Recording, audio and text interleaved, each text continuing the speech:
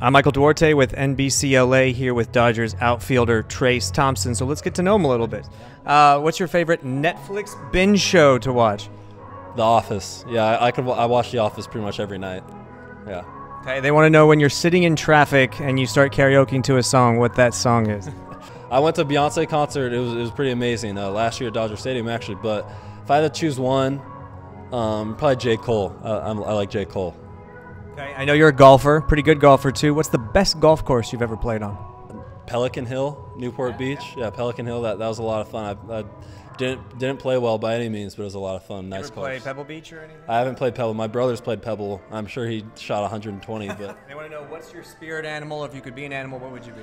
uh, monkey. I, I really I, when I was a kid, I loved monkeys. So um, I used me and my my friend when we were kids. When we were about five or six years old. We used to play monkeys. So that that was always my my thing. I like that. If you could have dinner with any person, living or dead, who would it be?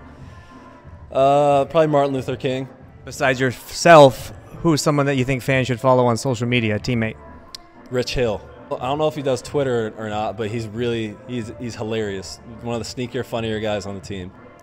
Okay, and then a follow-up question: If you ran for president, obviously we have a new president this year. If you ran for president, which one of your teammates would be your vice president, and why? Um, probably Rob Segedin. I think he's the smartest guy in that clubhouse, so I'm gonna go with Rob. I, I'd, I'd definitely, you know, depend on him for every for every single question anyone give me. I'll just have him on my side and just ask him what his opinion is, and I'll just relay that. So he would pretty much be the president. I'm just like the fake president.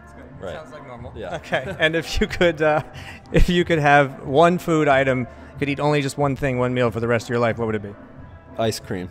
Yeah, ice cream. I, I could eat ice. I don't want to just say vanilla because that's just boring. Um, I don't know. Maybe maybe mint chocolate chip. Yeah, mint chocolate chip. Yeah, cookies and cream. I, you know, I'm a big Reese's guy, so I'll, whenever I go to ice cream place, I just get Reese's and my vanilla ice cream, and that's that. Yeah. All right. Well, everybody, that was Trayce Thompson. Uh, you'll see him on the on the outfield, probably center field for the Dodgers this season. Thanks, Trayce.